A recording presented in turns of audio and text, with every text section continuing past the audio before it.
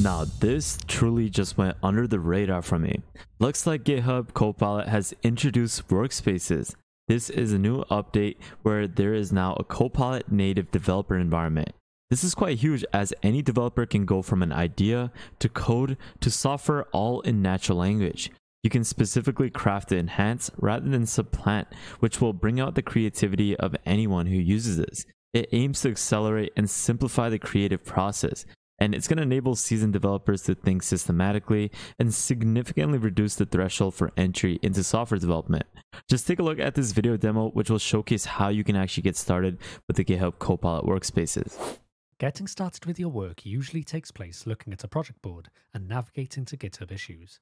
Copilot Workspace brings your favorite AI assistant into a native dev environment designed for everyday tasks.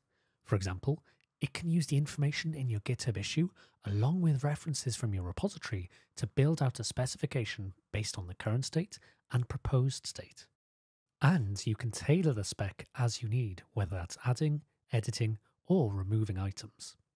Once ready, you can progress from spec to plan, and the process feels familiar. With the ability to adjust the plan as you need by creating, modifying, or removing files and adjusting the expected tasks for each step. This leaves you in control, free to solve the higher level problems and build out your plan before getting into the finer details of writing code. Copilot Workspace then streams the suggested changes to our environment. Notice that we have a diff view to easily digest the changes and can easily make updates within the editor. But that's not all. At our fingertips, we have access to an integrated terminal so we can run the tests in our workspace before committing our changes and creating a pull request. And what if you want to make use of advanced features like step-through debugging? No problem. Create a code space and pick up where you left off. When you raise your pull request with Copilot Workspace, it generates a description for you and automatically adds a link to your workspace, adding a little bit more context for the reviewer and supporting their code review workflow. And as it's a pull request, our usual checks trigger, including GitHub Action workflows and code scanning. Copilot Workspace leaves you in control, solving the high level problems and iterating quickly over the solution. Now, this is something that we're going to be taking a look at throughout today's video. At this current moment, you can't actually get started with it right away. You need to join the waitlist to actually get started, where I'll leave this link in the description below. But throughout today's video, we're going to be explaining this further in detail, showcasing the capabilities. There's so much to this, so stay tuned and let's get straight into the video. Hey, what is up guys? Welcome back to another YouTube video at the World of AI. In today's video, we're going to be taking a look at the GitHub Copilot Workspace Update. Now, first things first, we're going to take a look at how you can join the waitlist. It's kind of easy. I'll leave this link in the description below so that you can access it. Just simply click on the join waitlist button. Once you have done that, there will be a button to join the waitlist. You just simply click on the button and it will tell you if you're on the waitlist. And you can see over here, thank you Beyblade OG, which is my backup account, is now on the waitlist for the Copilot workspace. And now you just have to simply wait for an email to actually get access for the workspace. It should take a couple weeks, but once they are ready, they will give everyone access. Over the past couple years, generative AI has fundamentally transformed the developer landscape, mainly integrations with developer environments. Now, in 2022, GitHub had done a great job in launching the Copilot as an auto completion pair programmer. This is where it's used in editors and it will significantly boost developer productivity up to 55%. Now, it, this would basically make it a more widely acceptable and adopted AI, and it would be used in various use cases. Now, in 2023, they've introduced and released the GitHub Copilot Chat, and this was mainly used for coding, debugging, testing, and this was all in real time. And now today we have the introduction of GitHub Copilot Workspaces, which is now unleashing a new era of like what GitHub is actually able to do. It's a native developer environment where developers can brainstorm, plan, build, test, and run code using natural language. This task-centric experience will utilize various Copilot-powered agents, and this is throughout the process when you're developing software. And it's going to grant you a full control of your code in each direction or each step that you take with GitHub Copilot.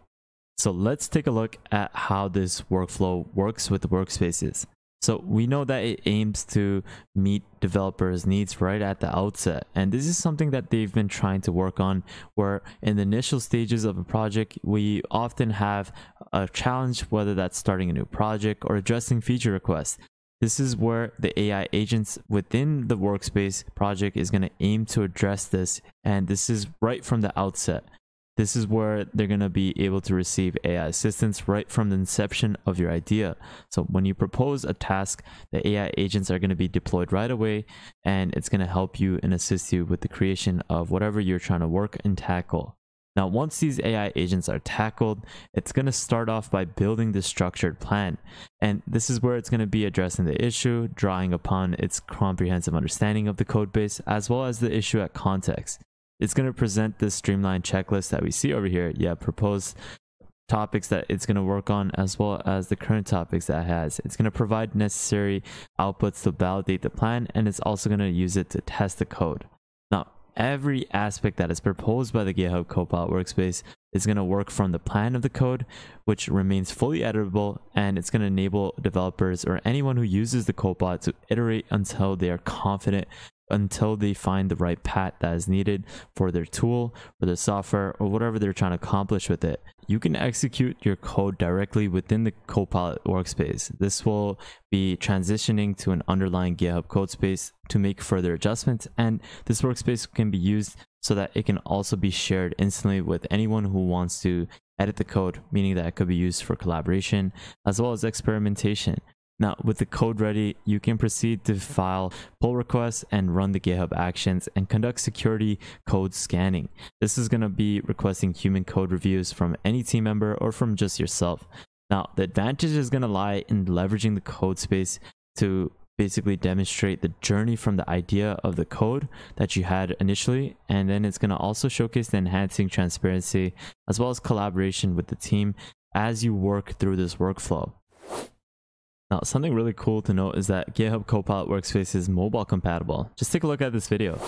Ideas can happen anywhere, whether you're at your desk or on the go, and that's why Copilot Workspace is accessible from the GitHub mobile app.